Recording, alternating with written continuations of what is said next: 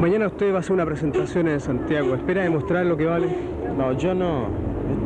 O sea, todo Argentino Junior y Maradona juega en Argentino Junior. Usted rechazó una oferta de 7 millones de dólares del club de Barcelona. ¿Por qué? No, Argentino Junior. Maradona nunca habló con los, con los dirigentes barceloneses. Solamente eh, Consol y el señor Segura, que, que son los, los que manejan el club actualmente. Se le considera con Pelé. ¿Usted cree que eso es realmente cierto? No, yo soy Maradona nada más, Pelé fue lo más grande que hubo.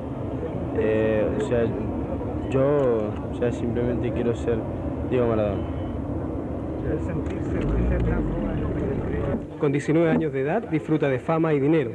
Fue subcampeón juvenil en el Sudamericano Montevideo realizado en 1978 y campeón mundial en el torneo juvenil disputado en Japón el año pasado.